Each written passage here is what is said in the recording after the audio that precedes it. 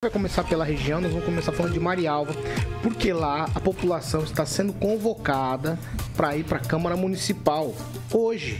É isso mesmo, seis e meia da tarde, quando o projeto de aumento do número de vereadores passa pela segunda votação.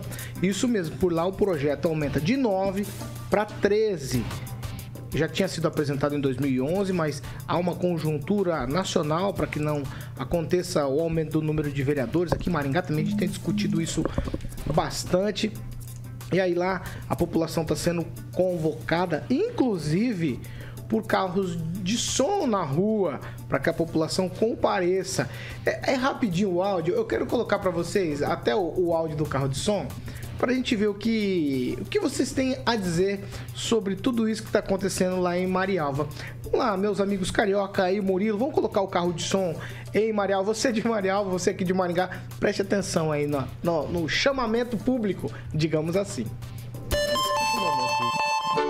Convidamos os moradores de Marialva que possam comparecer na Câmara nesta segunda, dia 5, às 18h30, na sessão para votação do projeto 002-2022, que aumenta de 9 para 13 vereadores. Você que ama nossa cidade, compareça nesta segunda, dia 5, na sessão.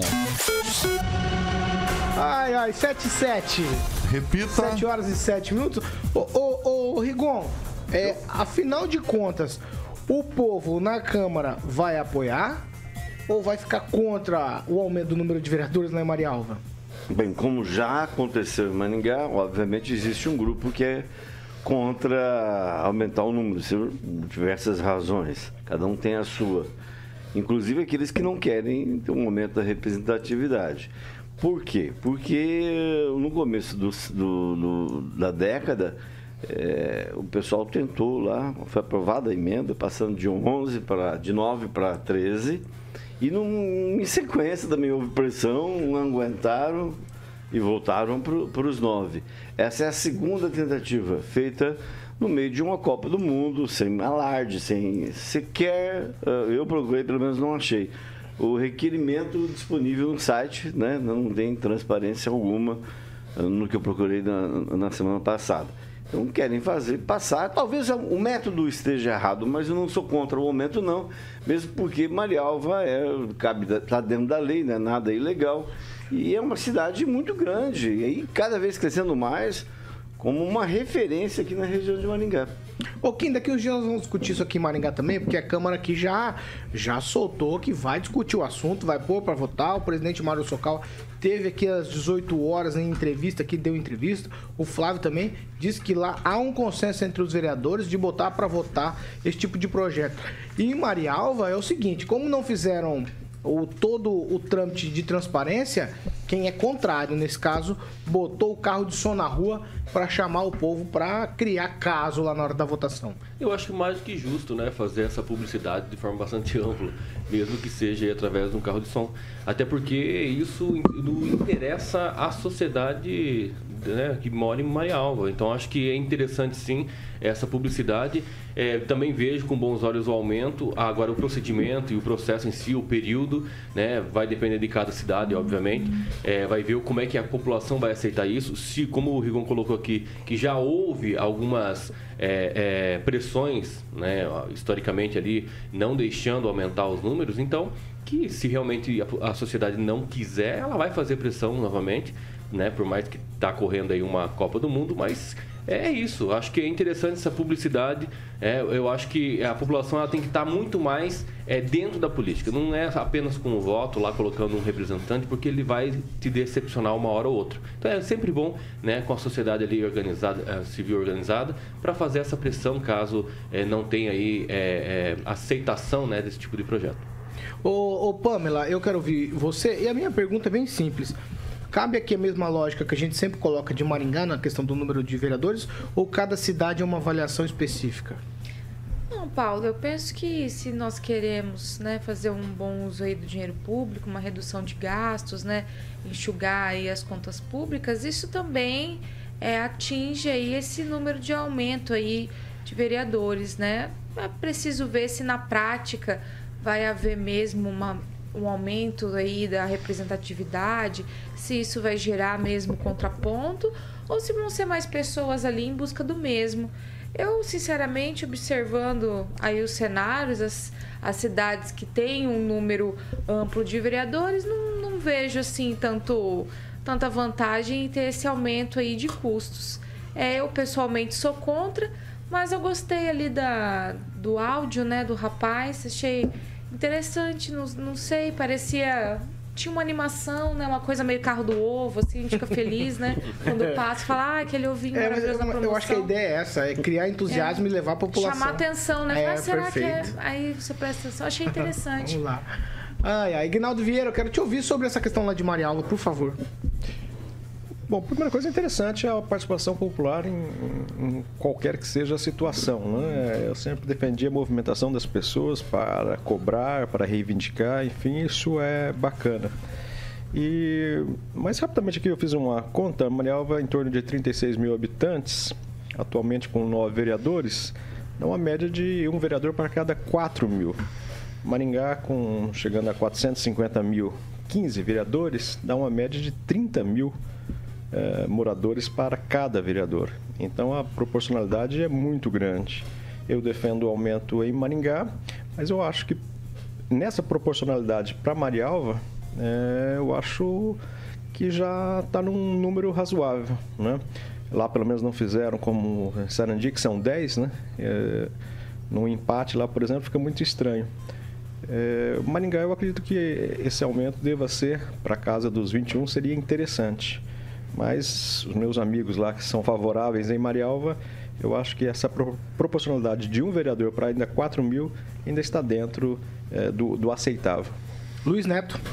Paulo, é algo interessante, né? Porque é, Existem muita, muitas questões que devem ser levantadas aí no município. É, o gasto vai aumentar? Né? A verba passada para a Câmara Municipal é a mesma né, o dinheiro do orçamento tirado para a Câmara vai continuar sendo o mesmo valor. É, quem é contra? Quem é a favor? Né? Quem se beneficia com nove vereadores e quem se beneficiaria com 15, com, perdão, quantos vereadores? Lá no projeto em Marialva. De 9 para 13. 13 vereadores. Quem se beneficiaria com 13 vereadores? E quando a gente fala em, em concordo com a Pamela, né? Acredito que é, a máquina ela não deva ser inchada. Mas quando a gente elege um presidente que fala em cortar, em ultrapassar o teto de gasto em quatro anos, isso aí já não é mais um argumento válido. Isso aí cai por terra e mostra que a população não está preocupada com o quanto vai se gastar quando se elege um presidente que não está preocupado com isso também. Né? Então, acho que são coisas assim a se refletir. Tem que ver a realidade da, da, da, da que o pessoal vive lá em Marialva, que é diferente da de Maringá. Muita gente também vai contra pelo interesse político para falar: ó, ali você não está sendo representado, eu serei candidato e vou representar você. Um exemplo que deve acontecer é, assim em Marialva como acontece em outros municípios. Então tem que dosar aonde vai a política, aonde vai de fato o interesse da população. Nós sabemos que muitos empresários se beneficiam também, dependendo da quantidade de vereadores, dependendo da quantidade de representatividade. Então há algo a se pensar, né? A gente sabe, é, Maringá já teve tempos aí aonde ainda ainda pode ter esses tempos ainda onde é, grupos políticos, grupos que se articulavam tinham aí seus vereadores de cabresto. Né? Então, Ué, não tem? Não, eu não sei se tem. Se tem, a gente tem que denunciar hoje. Mas o nosso passado, a nossa história fala por si só. Ah, não né? tem? A nossa história fala por si só. Vamos então, perguntar a hora que a gente olha na nossa história, a gente vê isso, aonde o cabresto falava mais alto. E aí o que, que acontecia no passado, né?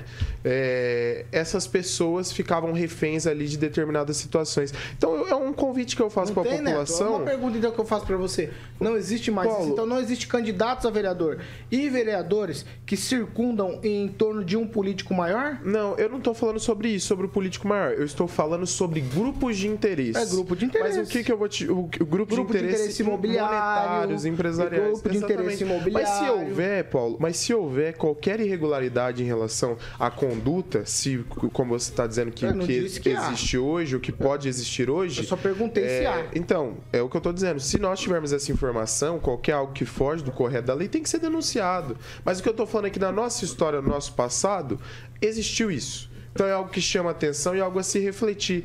Mais representatividade é mais fácil de você é, trazer para pensar daquela mesma forma ou não? Ou é mais difícil? É, Diminui-se o gasto? Porque de fato não tem a redução no, no, no dinheiro que é repassado.